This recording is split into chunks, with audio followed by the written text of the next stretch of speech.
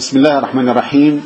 وبه نستعين ونصلي ونبارك على سيدنا وحبيبنا محمد عليه أفضل الصلاة وازكى التسليم.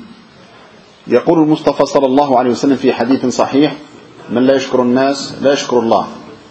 فأتوجه بالشكر إلى القائمين على هذا المسجد المبارك في هذه البلدة المباركة نسال الله أن تكون مباركة على أهلها وأن يدخل الناس في دين الله أفواج.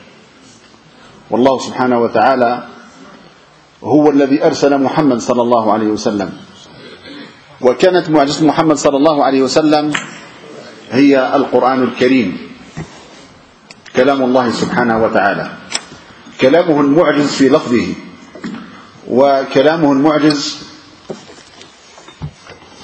في نسقه. هذا الكلام أعجزت به قريش. وخضعت لهم قلوبهم وخضعت لهم أعناقهم لهذا الدين العظيم وهذا الكلام الذي لم يسبق إلى بشرا أن أتى بهذا الكلام. وتعرفوا أحبابي بأن في ذلك الزمان في سوق عكار كانت العرب هي يعني en français des grands experts de la langue arabe. يعني كانوا هم الذين يقولون هذا أشعر العرب. وهذا أنثر العرب. فجاء محمد صلى الله عليه وسلم فلم يأتي أتى بكلام العرب ولكنه ليس شعرا وليس نثرا. وهذا الكلام الذي أثر تأثيرا بليغا في قريش ودخلت الإسلام. ولكن أيها الأحب نحن في هذا الزمان في هذا الزمان نفقه كثير من اللغة العربية لأن هذا الدين جاء للعالمين لم يأتي للعرب كعرب ولا شبه الجزيرة العربية. كان انطلاقا من شبه الجزيرة العربية ولكن هذا الإسلام هو للعالمين كافة وما أرسلناك رحمة للعالمين. فالله سبحانه وتعالى أرسل هذا الدين للأمريكي والإفريقي والأوروبي.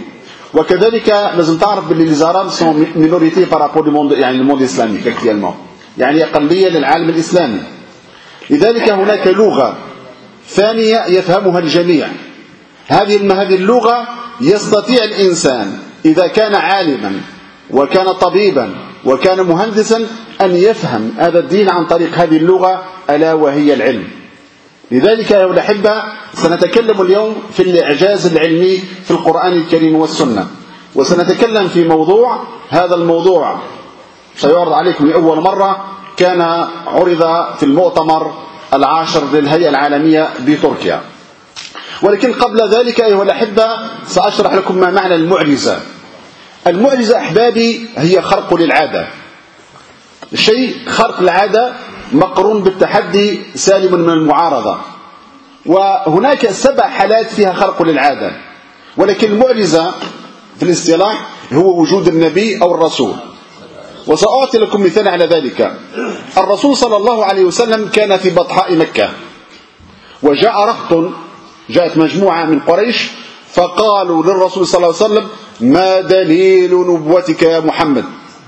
واش دليلك بإنك النبي؟ فقال اطلبوا ما تطلبون.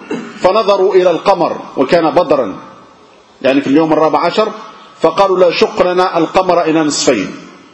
يعني تأتي مجموعة من قريش إلى رجل ويطمن هذا الطلب يعني اقسمنا القمر إلى نصفين. والرسول صلى الله عليه وسلم هو بشر. فرفع يده إلى السماء وقال يا رب لا تخيرني في هذه.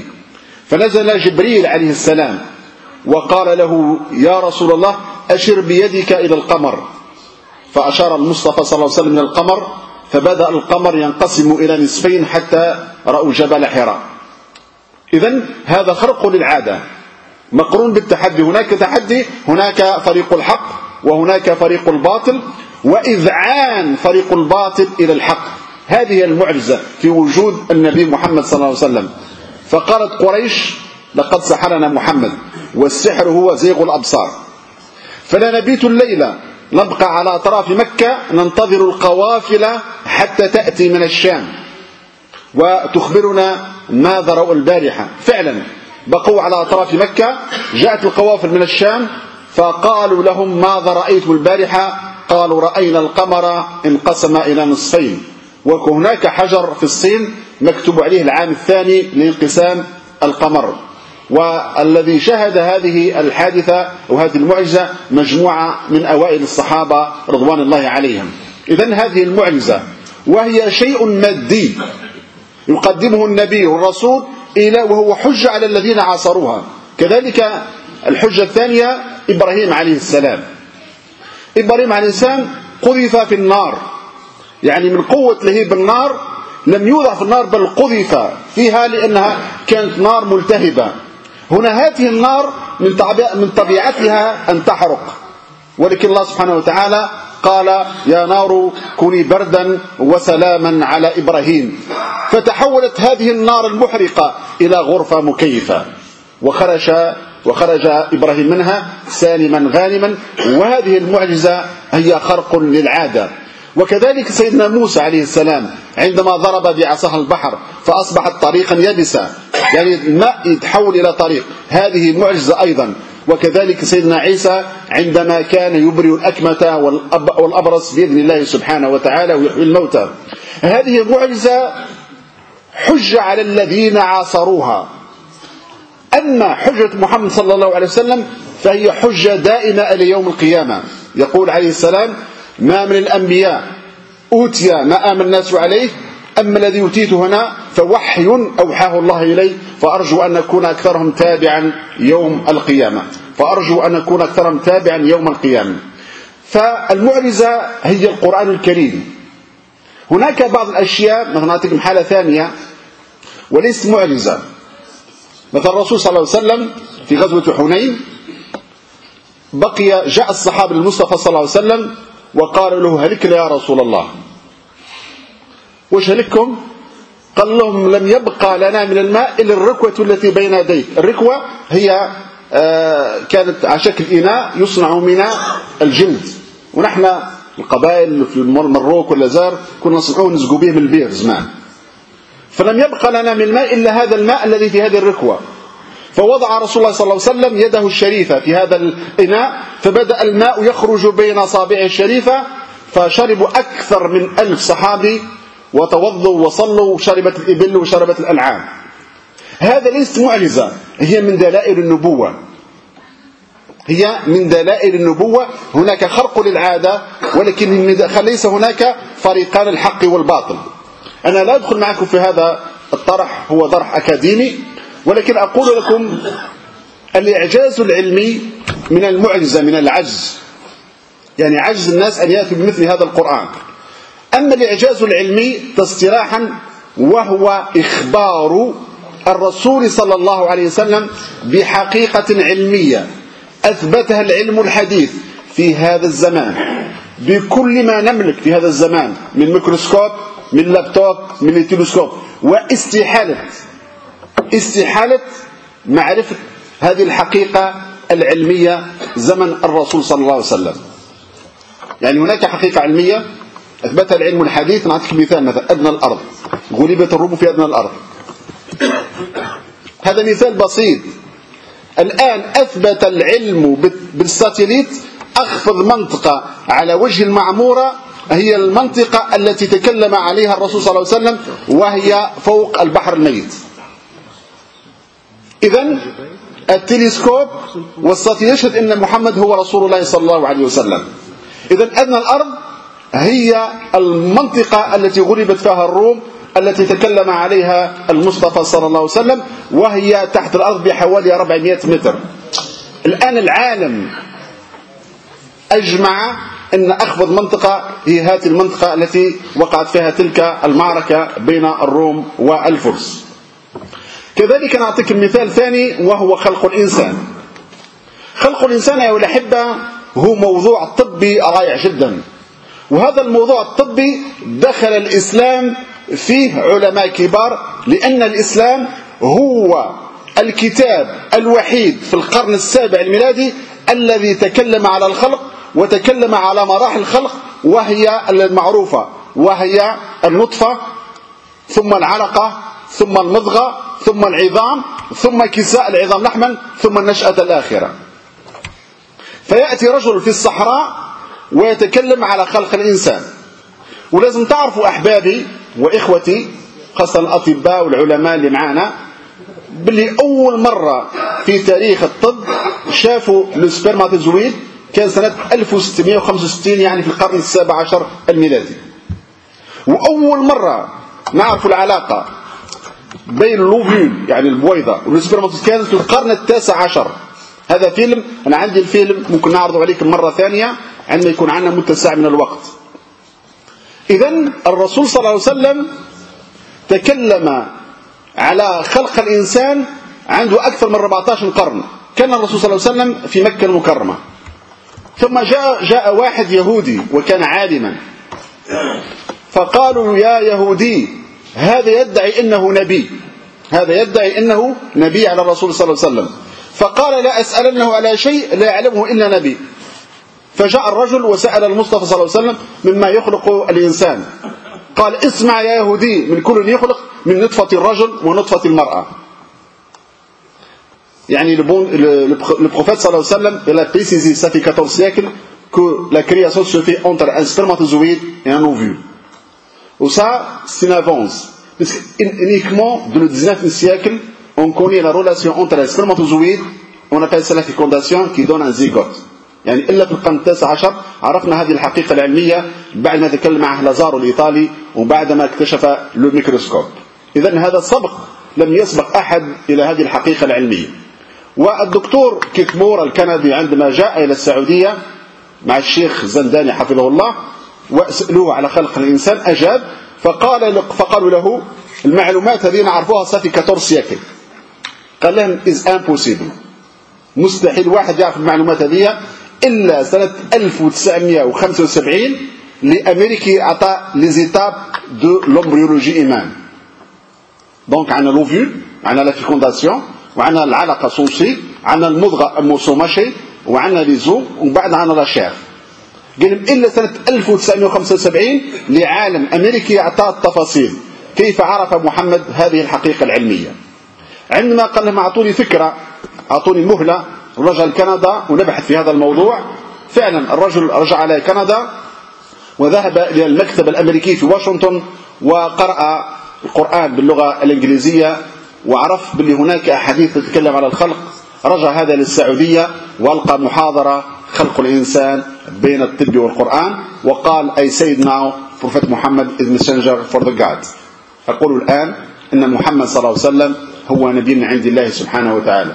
Confirmé que le prophète Mohammed صلى الله عليه وسلم un messager de Dieu. وهذا فيلم مصور عنا. وكذلك هناك علماء كبار في ال embryologie humaine دخلوا الإسلام عن طريق هذا العلم.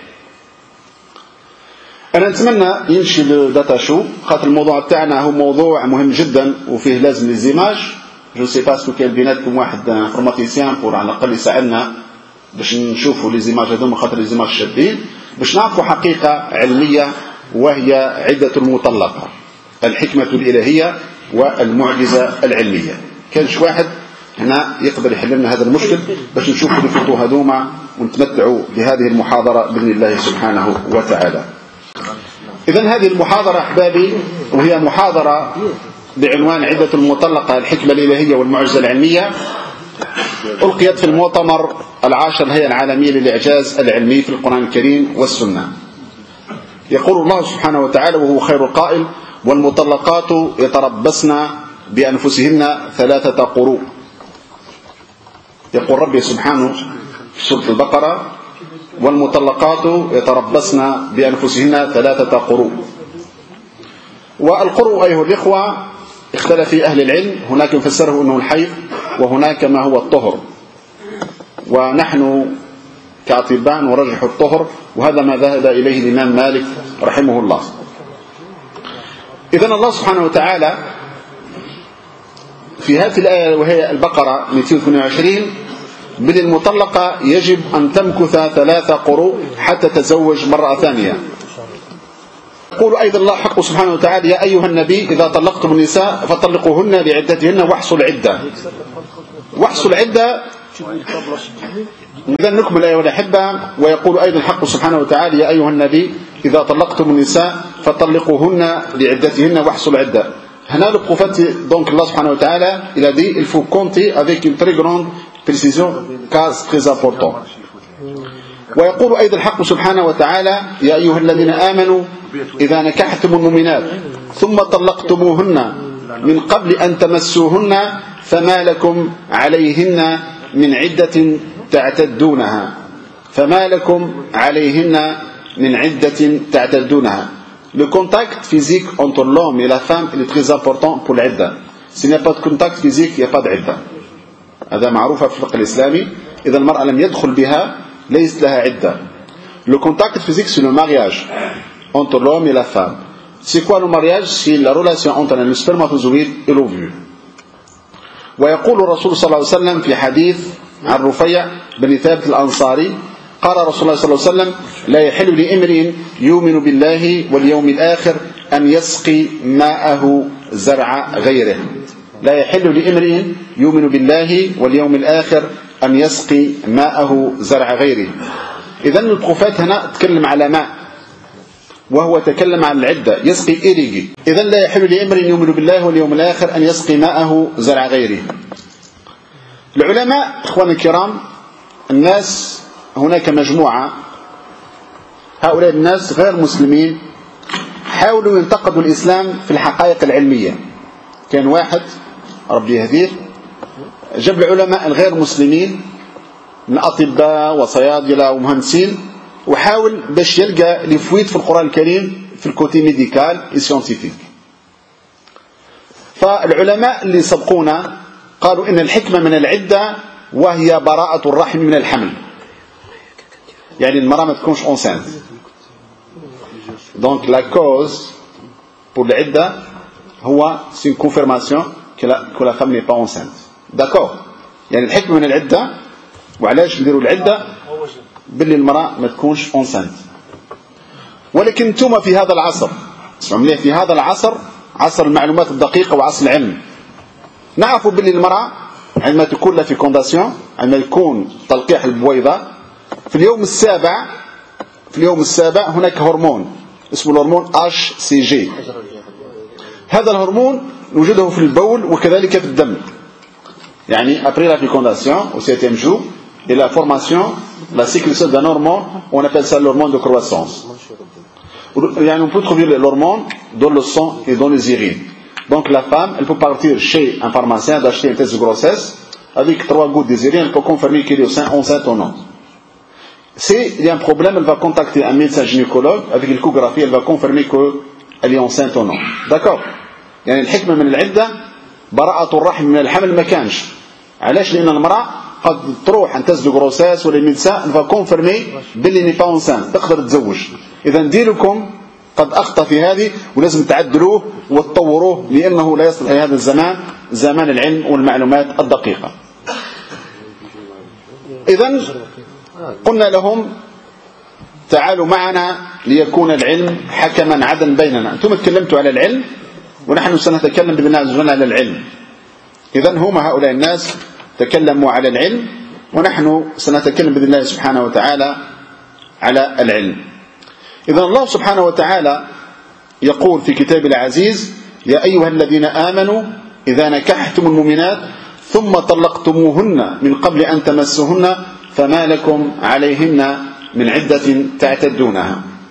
إذا le contact physique entre l'homme et la femme il est très important c'est quoi le contact sur le plan يعني biologique c'est le sperme le sperme qui contient des spermatozoïdes et l'ovule de la femme ماء الرجل وماء المرأة ولكن شكون يدير العدة شكون يدير العدة هي المرأة إذا عندها علاقة ب l'ovule عندها علاقة ب l'ovule إذا إخوانا فهمنا باللي المشكلة في l'ovule درك هنا كان ديفيل لازم تعرفوا باللي في المبيض المرأة المرأة عندها مبيضان. واحد في لادروات واحد في لاغوش. Ça en français l'ovaire. L'ovaire c'est où la formation des ovules. ولكن لازم تعرفوا باللي المرأة البنت تبدأ في إنتاج البويضات وهي في بطن أمها. سبحان الله. البنت تبدأ في إنتاج البويضات وهي في كرش أمها. عندما المرأة تحمل في الشهرين الأولين من الحمل يكون عندها 7 مليون جريب أولي follicules primaires 7 مليون follicules primaires في l'ovaire تاعها. نعاود المعلومة هذه. المرأة كي تحمل في deux mois في deux mois بنت هذيك يبقى عندها 7 مليون 7 مليون de follicules primaires و 5 موا 5 موا يهبط ولي 5 مليون à l'accouchement يبقوا 2 مليون donc عندنا 2 مليون لي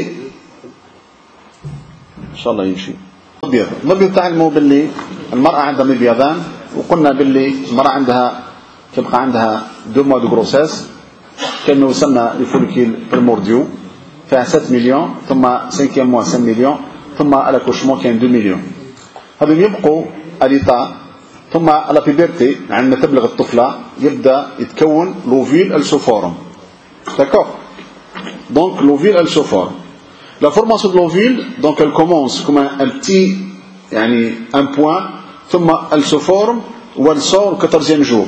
On appelle ça l'ovulation. D'accord Donc la puberté, elle commence, la fille, de fabriquer, on appelle ça en français la vaginèse. En anglais, ogenèse. Mais nous ne connaissons pas la durée de l'ovogenèse. Même, ça fait même pas 10 ans, un savant français deux savants français, ils ont confirmé que l'ovogenèse, la période de l'ovogenèse, ce n'est pas un cycle, c'est trois cycles.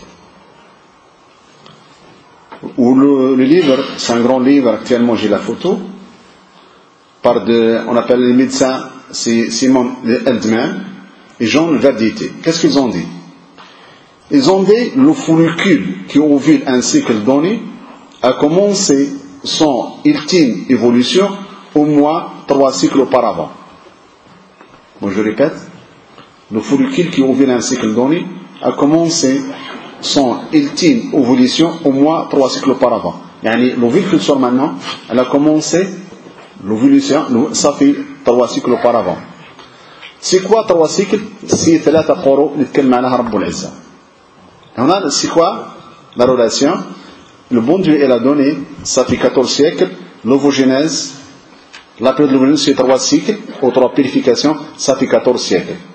Les savants, ils ont connu cette réalité, ils ne savent même pas 10 ans.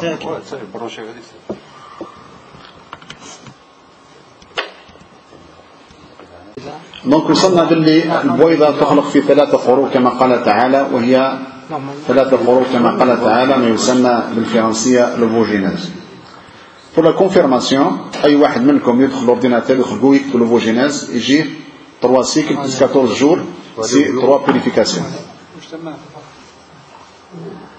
Ordinateur, ordinateur. 3 purifications. Ordinateur, Moi, je sais dire en arabe. Décidez-moi. Attends, on va faire autrement. إذا عندنا فيلم هذا الفيلم ممكن يبين لك كيف تخلق البويضة في ثلاثة قروء في سبعين يوما C'est l'USB que tu cherches. Ouvrir le périphérique. إذا عدة التي المرأة التي لا تحيض هي ثلاثة قرون لقول الحق سبحانه وتعالى والمطلقات يتربصن بأنفسهن ثلاثة قرون فإذا طلقت المرأة في طهر ثم حاضت ثم طهرت ثم حاضت ثم طهرت ثم حاضت فإذا طهرت انقضت عدتها. يبدأ إنتاج البويضة في الحيضة رقم واحد وينتهي في طهر الحيضة رقم ثلاثة. Donc, la période de viduité On va, on va fermer tout. que doit observer une femme divorcée est Pas trois tirer, là, tu vois. purifications. Ah voilà. trois purifications. أي ثلاثة قروء. وهنا la durée exacte, si le cycle est 28 jours, donc nous avons 28 jours Je réponds plus. plus 28 jours plus la purification 14 jours, donc nous avons 70 jours. C'est quoi 70 jours C'est l'ovogénèse. c'est la période de la formation de l'ovule. C'est la même chose pour le spermatozoïde. Le spermatogénèse, c'est presque la même durée. Pour les hommes, la fabrication de spermatozoïdes, c'est 70 jours. Et pour la femme aussi, c'est 70 jours. Pour la femme qui a un cycle normal de 28 jours. Actuellement, on va parler sur la composition du sperme. Le sperme est composé d'abord de 10% de spermatozoïdes et des, on appelle ça en français l'acide nucléique, c'est l'ADN. Et on trouve aussi dans le spermatozoïde, le sperme, on trouve les hormones. Nous avons la FSH, LH, prolactine, prostaglandine et le glucose et le zinc et le vitamine C.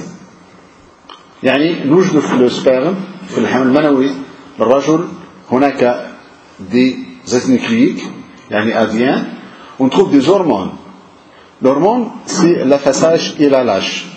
c'est quoi des hormones FSH et lâche Comme vous savez très bien, étant nous, nous sommes des médecins, pour stimuler l'ovule, pour stimuler l'ovule, il faut des hormones.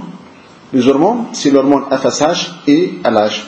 C'est des hormones sécrétées par l'hypophyse, ils sont transmis dans le sang, ils vont arriver jusqu'à l'ovaire pour stimuler l'ovule, pour stimuler l'ovogénèse. On appelle ça des hormones FSH et LH. Nous avons ici une autre hormone, c'est la prostaglandine.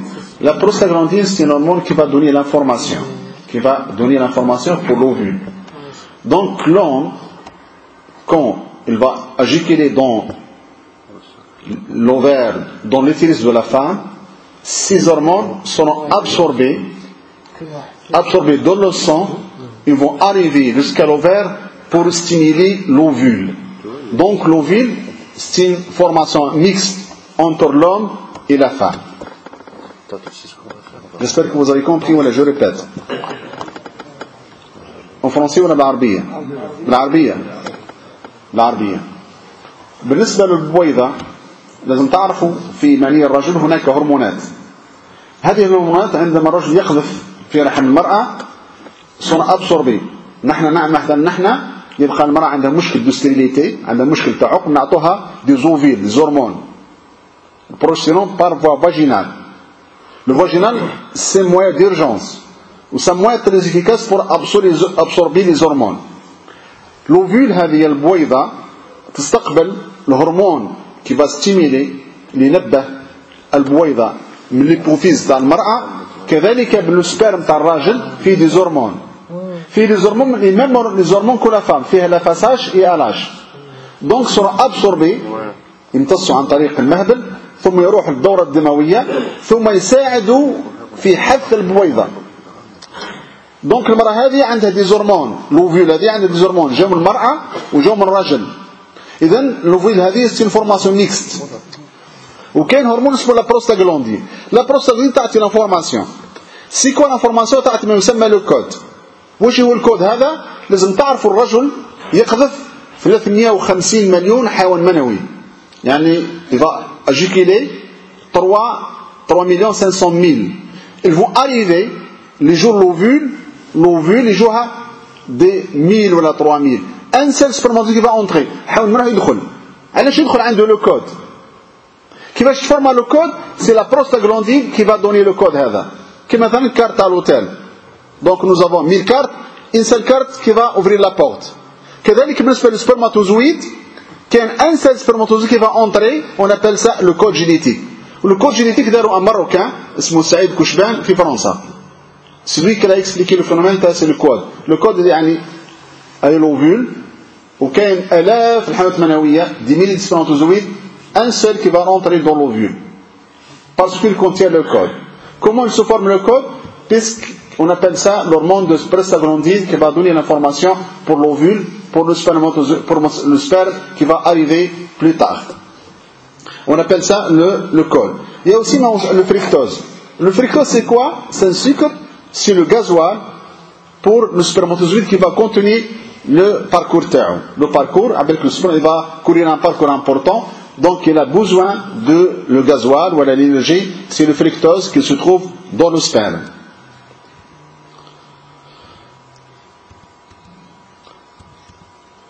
Nous avons d'autres sortes, nous avons l'ovogenèse et le spermatogénèse. هنا كان حاجة نشرحها لكم très importante. الله سبحانه وتعالى عندما شرع هو المشرع وهو الخالق. صح. بالنسبة لل spermatogenèse يعني خلق الحملة المنوية هناك خلية واحدة تسمى spermatocyte primaire جسبر نقص لك المعلومات باش في الرجل خليه واحدة إنسان سوليد اسمها اسمها سبرماتوس بريمير كي فا دوني فا دوني 4 سبرماتوزويد بالنسبة للافام وحدة اسمها اوفوسيت بريمير الفا دوني وحدة فقط. يعني خلق الحيوانات المنوية وحدة تعطينا اربعه خلق البويضات وحدة تعطينا وحدة يعني ان بور كات فهمتوا هذه؟ En français donc pour le spermatogénèse un spermatocyte il va donner 4 spermatozoïdes pour l'ovogénèse pour la femme ovocyte elle va donner un ovule un ovule d'accord donc 1 pour 4 Aussi, nous avons un tableau. Un tableau, si vous mentionnez uniquement vaginaise, vous trouvez un tableau. Donc, nous avons les follicules primordiaux, 3 cycles, plus 14 jours. 14 jours, c'est la formation des ovules. On appelle ça 3 purifications. Donc, la période de viduité de la femme, c'est 3 purifications. كما قال تعالى ثلاثة قروء. أنا نحب نوك بسطلك مفهوم. On va simplifier les choses. عنده عندي إنسان يروح يشتري دجاجة. دجاجة من السوق. مثلا في المغرب روح شرينا الدجاجة من السوق شرينا الدجاجة اللي تعطي البيض تعطي لي زو داكور ان بول بوندوز لازم تعرفوا باللي الدجاجة هذه تعطينا كل يوم بيضة صح ولا لا تعطينا شاك جور نف داكور مي لف il se forme في il se forme في 21 jours. L'œuf qui sort maintenant il a commencé ça fait 21 jours le parcours تاعو دونك تشري انت دجاجه اليوم وتعطيك بيضه أو نف سي با بور توا هو انت لو بريم باترون صح الا مونجي l'alimentation تاع لو بريم باترون ولي فيكوندي افيك سون كوك داكور دونك لا في الاولى تاع اليوم خطياتك صح ولا لا لا دوزيام خطياتك جوسكا 21 جور 22 جور هذيك هي نتاعك انت اللي كلات الماكله نتاعك ولا في كوندي افيك بالديك تاعك هذيك بوتر كوك يعني عدة هنا الدجاجة قداش هي 21 جور فالله سبحانه وتعالى ربي العظيم هذا فيلم رائع جدا ما نسبش نقدروا نشوفوه إن شاء الله دوك نشوف دونك هنا نشوفوا لهم دونك لهم سي السكال لا فام سي لوفيل دونك سي كلير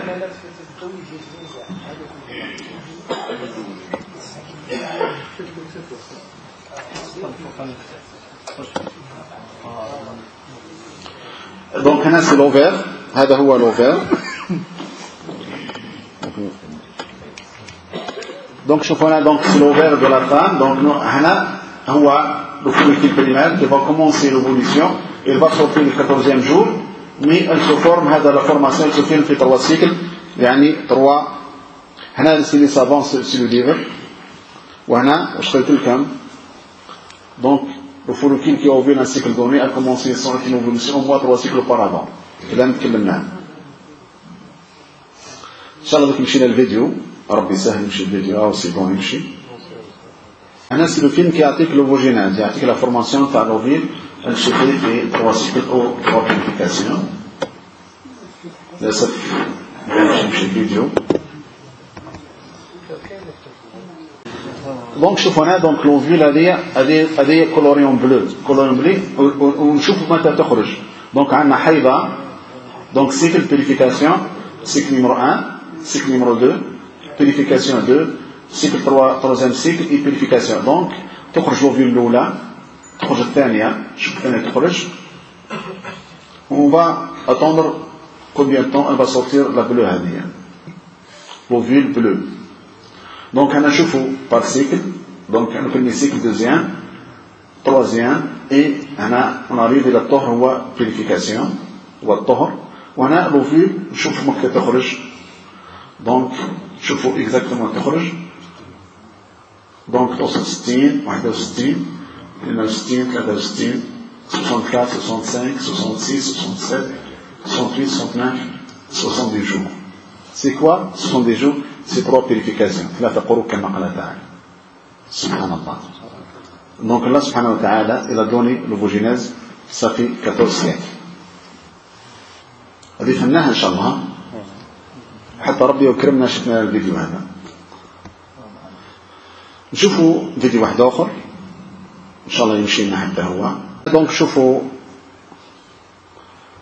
آه واش ما درس آه. Ah, c'est bien. شوفوا هنا on va expliquer هذا c'est très important d'expliquer ça c'est important. شوفوا مليح. شوفوا هنا دونك nous allons chaque fois chaque fois qu'il y a le divorce كاين trois كاين الأولى والثانية والثالثة أي وقت الراجل يطلق مرته؟ كاين trois ovules في l'ovaire سواء زوج في la droite وواحد في la gauche. l'essentiel كاين trois. donc الأولى عندها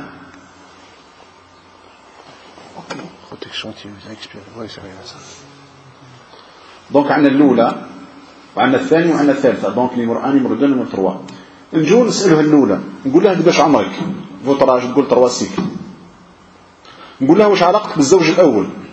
اسمعوا مليح تقول ولدت في عصمته يعني قبل الطلاق سقيت بمائه بماء الرجل الأول وأحمل شفرته يعني le code donc la formation avant le divorce. elle est irriguée le sperme dans le mari 1 et le code génétique de son mari numéro 1 la deuxième نسألوها واش علاقتك مع عمرك؟ تقول عمري قرآن deux cycles donc va sortir après la première. واش علاقتك بالزوج الأول؟ تقول ولدت في عصمته قبل الطلاق سقيت بمائه وكذلك أحمل شفرته. الثالثة وسي قروزيان نقول لها قداش عمرك؟ تقول عمري حيضة واحدة نخرج بعد الثانية وهي الصغرى. وش علاقتك بالزوج الأول؟ تقول ولدت في عصمته سقيت بمائه وأحمل شفرته. نخليها تخرج الأولى. donc تخرج الأولى. تخرج البويضة الأولى. l'ovule الأولى تخرج. وكان الحيضة الأولى ثم تخرج l'ovule الثانية بإذن الله سبحانه وتعالى. تخرج الثانية وتكون الحيضة الثانية. ثم تخرج الثالثة وتكون الحيضة الثالثة. تخرج الثالثة. الحيضة الثالثة. شوفوا هنا رقم أربعة ورقم خمسة ورقم ستة. سبحان الله حبسوا هنا دونك شنو عندنا؟ رقم أربعة ورقم خمسة ورقم ستة. أنتوا رقم رابعة نسألوها. قداش عمرك؟ تقول عمري ثلاثة قروء وباش نخرج. خمسة عمري قرآن وش نخرج بعد الرابعة. السادسة عمري قرآن واحد. واش نقول الرابعة واش علاقتك بالزوج الأول؟ تقول لي علاقتي به ما عنديش حتى علاقة به. بدأت ولا فورماسيون بعد الطلاق؟ ولم أسقى بمائه ولحم شفرته. فسبحان الله. فالله سبحانه وتعالى بالحيضات الثلاث تخلص من الثلاث التي تحمل شفرة الرجل الأول. إذا ولد الطفل بعد بعد العدة هذا الطفل 100% رجل ثاني. أما إذا زوجت المرأة أثناء العدة هناك خلط للأنساب. اختلاط الأمياه وتشابه الأنساب. إذا سبحان الله ربي سبحانه هذه رقم ربعة ورقم خمسة ورقم ستة. ما عندهاش علاقة بالزوج الأول وهنا تكمن حكمة العدة. فحكمة العدة هناك ثلاث بويضات فلو فلوفير. هالثلاث بويضات عندهم علاقة بالزوج الأول. بالعدة تخرج الأولى والثانية والثالثة أما الرابعة ما عندهاش حتى علاقة بالزوج الأول. فيتزوج المرأة بعد العدة يكون الطفل 100% الرجل الثاني. أما إذا تزوج خلال العدة يكون هناك كما يقول العلماء اختلاط المياه وتشابه الأنساب. سبحان الله رب العالمين. لذلك الله سبحانه وتعالى طهر المرأة من البيضات الثلاث اللي كانت في مبيضها التابعة للزوج الأول التي سقيت بمائه وتكونت في عصمته وتحمل الكود الرجل الأول. فسبحان الله الذي علمنا هذه الحقيقة العلمية وعرفنا الحكمة من العدة. يعني ربي سبحانه لأن يا أخوان الكرام لازم تعرفوا هناك الحكم هناك الحاكم هو الله سبحانه وتعالى وهناك المحكوم والمحكوم عليه وهناك الحكم وهناك الحكمة. فأي إنسان لا يعترف بحكم من أحكام الله هذا يخرج من الملة لأنه نحى صفة الحكيم عن الله سبحانه وتعالى. إذن الله سبحانه وتعالى هو الحكيم وهو الحاكم. ويقول أهل العلم ما شرع له إلا لحكمة وما حكم إلا لغاية. علمها من علمها وجهلها من جهلها وعدم العلم بها لا ينفيها. وعدم العلم بها لا ينفيها. وعدم العلم بها لا ينفيها. هنا نشوف الفيديو اللي قلت لكم عليه تاع 1 pour 3 شوفوا هذا الفيلم رائع جدا. Spermatogenesis. A diploid male germ C'est cell en anglais. increases in size to become a primary Donc pour le spermatozoïde, donc nous avons spermatocyte خلية تعطينا cytoplasmic دو division, سوليد forming four ومن بعد تعطينا. 4 سبرماتوزويد معليش خلي تقرا اون انجلي معليش هنا بالنسبة للفام لوفوجيناز The diploid female germ cell increases in size to become a primary oocyte. Primary oocyte undergoes meiosis and unequal cytoplasmic division to produce one haploid ovum and three polar bodies. The three polar bodies disintegrate. هنا واحدة تعطيك واحدة produced. سبحان الله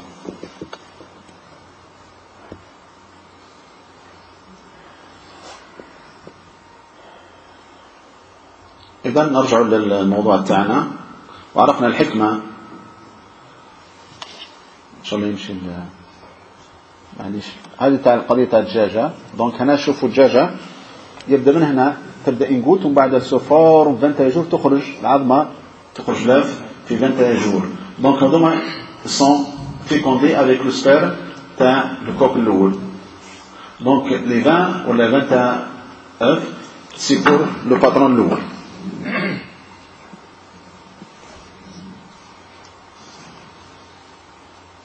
إذا أخواننا الكرام هذه الحكمة يعني من الإعجاز العلمي قلنا ما شرع له إلا لحكمة وما حكم إلا لغاية.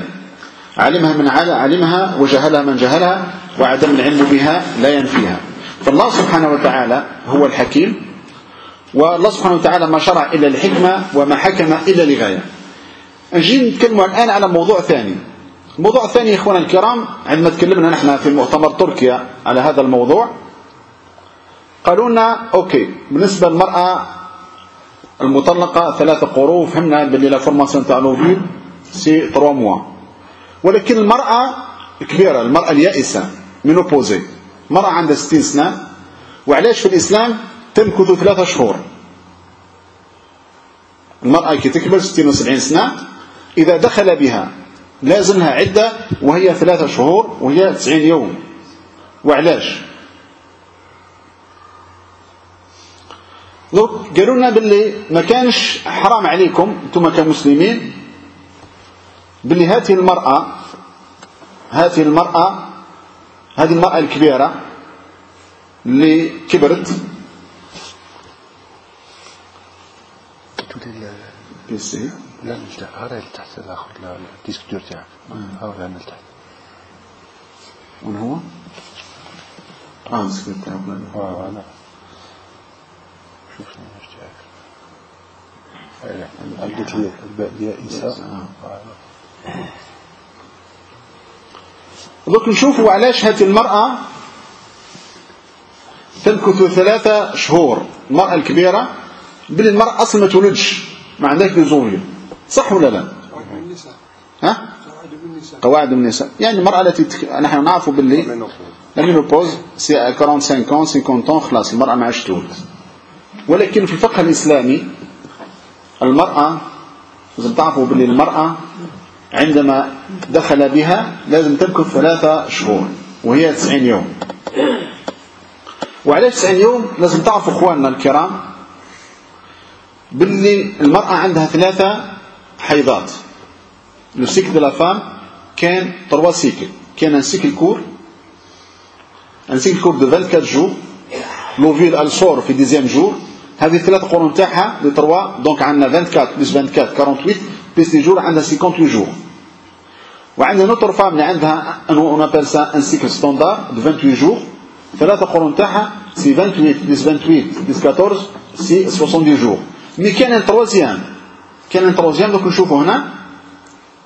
la troisième اللي عندها un cycle long اللي عندها un cycle long هو de 35 jours و l'ovule elle sort في ال 20 jours donc ال trois cycles تاعها c'est 35 plus 35 c'est combien 70 jours plus 20 jours c'est 90 jours c'est 3 mois Donc, sur les plus longs cycles, si on appelle ça un cycle long, هو نتاع la troisième femme. Donc, نشوف هنا donc le, le trois purifications فيها donc عندنا le cycle numéro 1, 2, 3 on va voir c'est 90 jours pour la femme a un cycle long. Donc nous avons compris trois différents du cycle. On a un cycle long, short, standard, on a un long cycle, un cycle long, c'est la purification se fait fait 90 يوم. شوفوا 81 82 لا 84 85 86 87 88 90 90 يوم سبحان الله فالله سبحانه وتعالى هو خالق المرأة. في التشريع الإسلامي هو ده السقف ده يعني للتحرز. مثلا أعطيكم الباب هذا نديروا أن متر 90 ولا 2 متر. كاع الناس تجوز. وصاكم نديروا متر 70 كان الناس اللي طمسوا دونك في التحرز يعني أكبر قيمة وهي ثلاث أشهر التي قال عليه تعالى في عدة اليائسة. الآن شوفوا امرأة هذه المرأة هي امرأة هندية. هذه عمرها سبعين سنة. ولد عندها عندها إناني. هذه مرة معروفة هندية رجلها في عمر 72 سنة هي في رجل 70 سنة ولدت. وهذه معروفة وهذا هو رجلها. إذا نعرف نعرف الحقيقة العلمية بعد ذلك. وعلاش ربي سبحانه دار ثلاثة شهور مالغري لفام إلي أدولت وما عندهاش لزوم هذه الصورة دارت العالم كامل ومعروفة الآن عالميا باللي هذه المرأة ولدت في سبعين سنة. الآن نتكلموا على قضية شوفوا هذا الفيلم هو فيلم رائع جدا يعطيكم القضية من الناحية العلمية وبالإنجليزي. Puffs up like a balloon from a bed of stem cells and wiggles its way into existence. It's been an uphill battle to prove this is possible. The prevailing dogma in our field for uh, the better part of the last 50 or 60 years was that uh, هذا الدكتور جوناثان تيلي من الامريكان هارفارد ميديكال سكول as they mature and become a woman and they use those eggs up, uh, the ovaries will fail and they enter menopause. هذا لابوراتوار تاع الدكتور جوناثان تيلي Researcher Jonathan Tilley published a controversial paper in Nature. it showed stem cells in the ovaries of adult mice could give rise to viable eggs. The backlash to the paper was huge. Post 2004, after the Nature paper was released, uh, was probably the worst in terms of the skepticism, the controversy, the debate. I think in one or two calendar years, there were probably 30 scathing commentaries published on this work by various people claiming it to be false, uh, made up, uh, simply not believable. Uh, we were reminded that um, humans are not big mice, only if you're in Disneyland. donc هذا هو Jonathan Tilly هذا هو العالم الكبير الأمريكي اللي يثبت باللي المرأة تقدر عندها les ovules في أي سن حتى تموت. وهنا نكسبليكيكم ال phénomène هذا في هذا ال schéma donc واش عندنا هنا نشوفوا واش عندنا. عندنا هنا لوفير هذا لوفير تاع مرأة كبيرة تاع مرأة عجوز. هزمنها فرقمو. هذا وش ترتيبي هزمنها فرقمو. يعني المرسو إلى كلوري المرسو هذيك إلى كلوري شوف لا كلور اساسو فيها هذيك ان برودوي راديو اكتيف دونك لا فورماسيون سي فورماسيون أنا بيرسون انتي كور انتيجين سي تكنيك تري تري سبيسيفيك بعد واش دار؟ هز الفرقمو هذا إلى انجيكتي فلوفر تاع سوري. إذا شوفوا تاع لا إلى الانجيكتي فلوفر لوفير تاع سوري ابري سيرتان طون واش دار دات لا فورماسيون شوف عطا عطا لا فورماسيون تاع دي زوبي هيومان سبحان الله دونك après quelques jours donc في l'ovule هذا il a commencé la formation des ovules هذه لا تكنيك اللي دارها جوناثان تيلي و سي لا première fois dans le monde entier il a confirmé scientifiquement que la femme elle peut avoir des enfants à n'importe quel âge. D'accord زمان كنا نعرفوا نحن واش قرينا صافي صافي 20 ans قرينا بلي لا فام عندها ستوك ليميتي دونك سي لا فام elle arrive à 14 ans عندها ستوك de 400 500 500 ovules donc chaque mois تعطي un ovule jusqu'à épuisement de stock on appelle ça un stock limité هذا واش قرينا نحن mais maintenant cette étude elle a confirmé que la femme peut avoir des enfants à n'importe quel âge où nous avons la confirmation qu'une femme à 90 ans, à 70 ans, elle a, elle a pu avoir un enfant. Mais le, le, le record mondial, c'est une femme française. Elle a accouché à l'âge de 84 ans. C'est le record mondial. امرأة زكريا آه نعم زكريا ولدته وهي كبيرة كذلك مرت سيدنا سارة إبراهيم عليه السلام كذلك actuellement في en- في l'Espagne n'importe quel âge ils peuvent stimuler l'ovaire pour donner des ovules actuellement mais ça coûte tellement cher donc ils stimulent l'ovaire pour stimuler donc l'ovogénèse بعد يديروا ما يسمى la fécondation artificielle la fécondation extra-utérine ثم il injecte injecte l'ovule fécondé dans l'utérus de la femme mais ça coûte tout- toujours cher كذلك لازم تعرفوا بان même l'utérus l'utérus de la femme الرحم المرأة اللي دارها لا تاع ça fait pas longtemps 2014 هزوا l'utérus من femme عندها 65 ans. وعطت لبنتها. donc la transfert de l'utérus هز l'utérus من la mère عطوها لبنتها. ومن بعد l'utérus il fonctionne donc l'utérus il fonctionne n'importe quel âge et l'ovaire aussi il fonctionne n'importe quel âge شرعا يجوز شرعا. اول عمليه داروها 2007 في السعودية. وما نجحتش. بعد 2010 في تركيا ما نجحتش بعد في الدنمارك ونجحت. في الإسلام يجوز نقل الرحم l'utérus la transplantation l'utérus يجوز لأنه وعاء. D'accord. Mais لا يجوز نقل l'ovaire puisque l'ovaire contient génétiquement des ovules. شرعا لا يجوز نقل l'ovaire ما لا يجوز نقله ولا من اليدين تاع الرجل. الخطر فيهم le matériel génétique.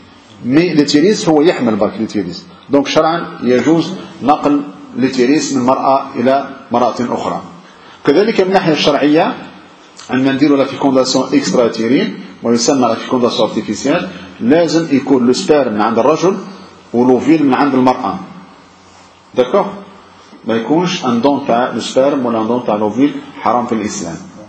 لازم يكون الرجل يعطي ال sperme تاعو و la femme تعطي l'ovule وبعد نحن في la fécondation extra-utérine ثم troisième jour on va injecter la fécondée dans l'utérus لا يجوز كما يديروا الغرب يديروا الدون تاع السبرم الدون تاع ليزوفيل ويديروا لا fécondation. هذا لا يجوز شرعا في الإسلام إذا عرفنا حقيقة هذه الحقيقة العلمية عرفنا حقيقة أولى وهي عدة المطلقة وقلنا ثلاثة قروء وقلنا هناك ثلاثة بويضات في المبيض والله سبحانه وتعالى شرع العدة لخروج هذه البويضات الثلاث من مبيض المرأة لأنهم عندهم علاقة بالزوج الأول. وكذلك عرفنا عدة اليائسة وهي ثلاث أشهر وهي أن اليائسة عندها بويضات ولكن هذه البويضات تبقى ميتة.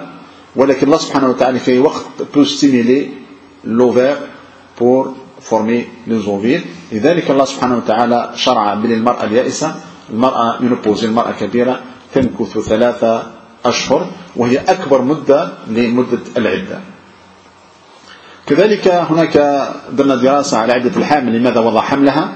وكذلك عدة الأرملة المتوفي زوجها أربع شهور وعشر أيام هذا نخلوه المرة الجاية إن شاء الله إذا زرتكم المرة الجاية أتمنى لكم في هذه الحقائق العلمية. لذلك إخوانا الكرام إذا هذا هو الإعجاز العلمي في القرآن الكريم والسنة. هو إخبار القرآن الكريم والسنة المطهرة بحقيقة علمية. فهمتوها ça fait pas dix ans وتكلم عليها القرآن ça fait 14 siècles وهنا مستحيل بشر يعرف هذه الحقيقة العلمية قبل عشر سنوات. وهناك كتب كبيرة يعني تتكلم عن الحقائق العلمية مثل كتاب هذا الكتاب معروف هو كتاب موريس بيكاي كان فرنسي كان انجلي هذا the Bible the Quran and Science la Bible et la science. يتكلم فيه باللي le seul seul qui concorde avec le, le, la science c'est le, les versets ولازم تعرفوا باللي الاناجيل الاناجيل يعني ما كانش انجيل واحد كلها لا تتوافق مع العلم علاش لأن الانجيل الصحيح كل الاناجيل حرفت بفعل فاعل وفعل الانسان اما القران الكريم فهو الكتاب الوحيد المحفوظ حفظ في الدنيا إنا نزلنا الذكر وإنا له لحافظون. وحفظ في اللوح المحفوظ كتاب محفوظ كتاب كريم في اللوح المحفوظ وهنا أيها الأحبة نتأكدوا باللي الله سبحانه وتعالى هو الذي أرسل محمد صلى الله عليه وسلم. وهذا النبي الأمي الذي يعيش في الصحراء لم يدرس لا في جامعة ولا عنده مخبر ولا يعرف l'ovule ولا يعرف ال spermatogenèse ولا يعرف l'ovaire. عرفنا بحقائق علمية اكتشفناها نحن في هذا الزمان. بفضل الوسائل العلمية المتقدمة جدا بفضل الإيكوغرافي بفضل السكانير بفضل الدوبلير هذه الحقائق العلمية ما كانش بشر يعلمها في زمن النبوة Donc, c'est quoi le miracle scientifique C'est la concordance des versets coraniques et les paroles prophétiques avec la science.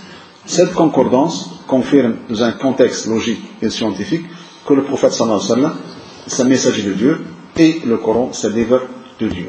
Donc, actuellement, nous avons une confirmation scientifique, médicale, que le prophète Mohammed, c'est un messager de Dieu. Donc, nous sommes convaincus باللي الرسول صلى الله عليه وسلم هو رسول من عند الله سبحانه وتعالى إذا هذا نحن إيطون المسلمون يزيد من إيماننا نحن كمسلمين يزيد من إيماننا ونعرف باللي أنا طريق الحق يعني التروي فور الله كذلك بالنسبة للدعوة للآخر الذي لا يؤمن بالله سبحانه وتعالى ولا بهذا هذا القرآن عندما تشرح له هو لا يعرف أصلا الإسلام ولا يعرف القرآن الكريم. عندما تقرأ له القرآن الكريم لا يتأثر به لأنه لا يعرف اللغة العربية.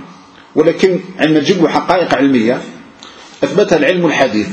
وتقول هذه الحقائق العلمية أخبرها محمد صلى الله عليه وسلم عندها 14 قرن. هذا الإنسان سيدعن لهذا القرآن ولكتاب الله سبحانه وتعالى. أنا أخيرا دراسة دراسة جديدة قدمتها في مؤتمر إسبانيا 2016 أثبت لأول مرة في التاريخ الإسلامي علاش الله سبحانه وتعالى حرم الأخ بالرضاعة frères par allaitement يعني الإنسان عندما يرضع خيوة مثلا زوج دراري ما عندهمش علاقة جينية عندما يرضع صدر واحد من مرأة واحدة يصبح أخوه من الرضاعة وعلاش السر اخواننا الكرام؟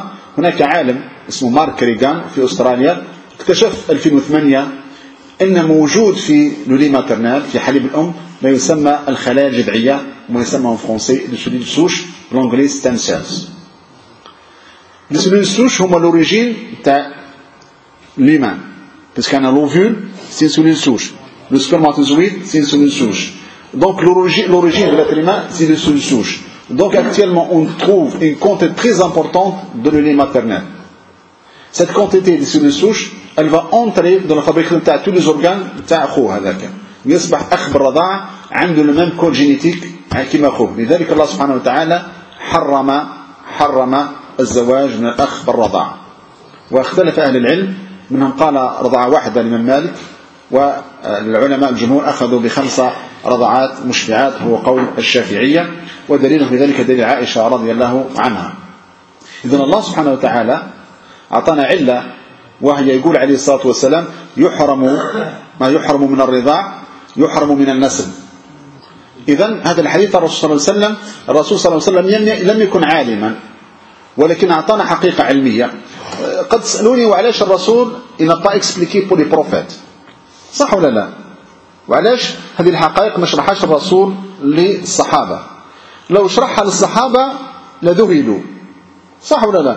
ما جيني انت جدك تقول له جدي يا عبايك باللي لفا نحن خلقنا كان ovule وكان spermatozoïde ما يصدقش هذا جدك اللي عنده مثلا cent ans ما بالك الصحابة اللي عندهم 14 siècles يقول أهل العلم لو شرحها للصحابة بمفهومهم لا لنحن في هذا الزمان نقولوا ما عرفش يشرح. d'accord. ولو شرحنا بمفهومنا في هذا الزمان لم يفهمها الصحابة رضوان الله عليهم. لذلك هذه القضايا العلمية خلاها المصطفى صلى الله عليه وسلم ولم يشرح حتى يأتي جيل من بعده وهذا الجيل هذه الحقائق العلمية وهذا هو الإعجاز العلمي في القرآن الكريم والسنة. يقول أهل العلم لو شرحها بمفهومهم لأنكر لأنكرنا عليه نحن. ولو شرحها بمفهومنا لأنكر هم عليه. لذلك الرسول صلى الله عليه وسلم تركها ولم يشرحها. سيأتي جيل ويفهم هذه الحقائق العلمية فهما حقيقيا. وهذا الفهم إخوان الكرام هو الدلالة لهذا الدين.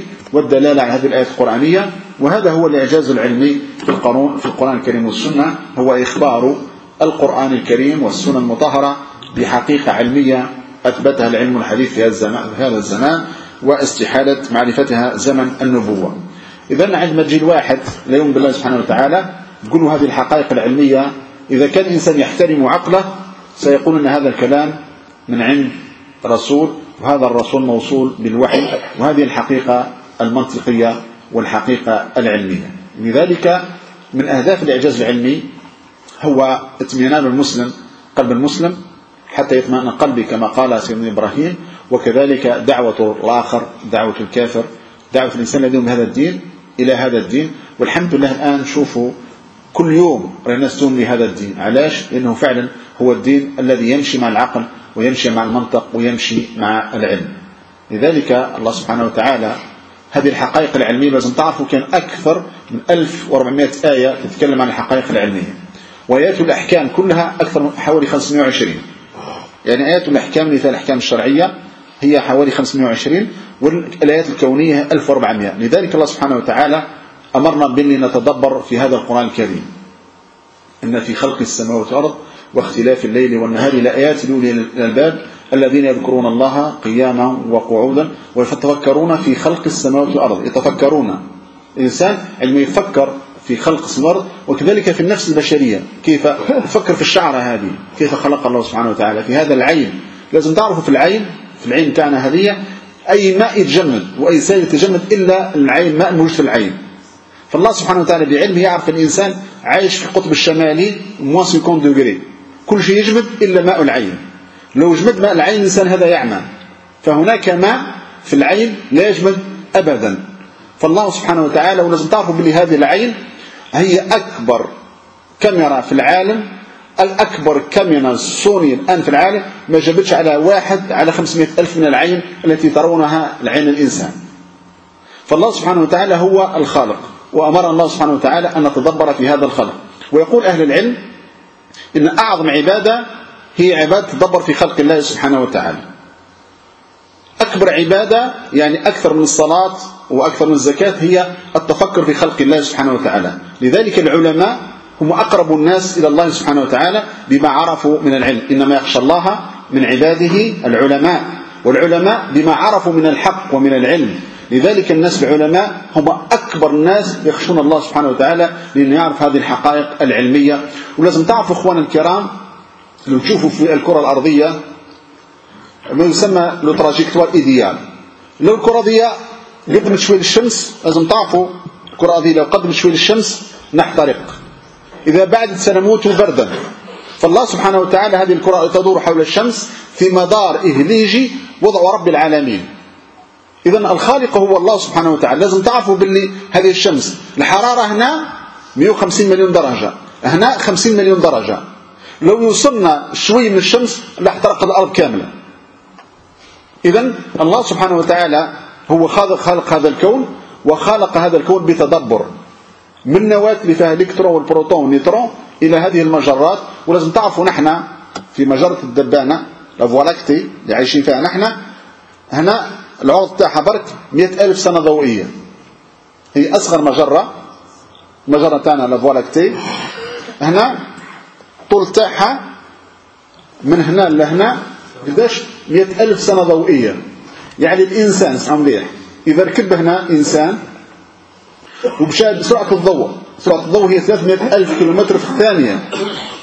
300 mille kilomètres par seconde إذا الإنسان يركب في مركبة ويمشي بسرعة الضوء يعيش 100 سنة هو ماشي يموت يجي ولده. يركب يمشي 100 سنة.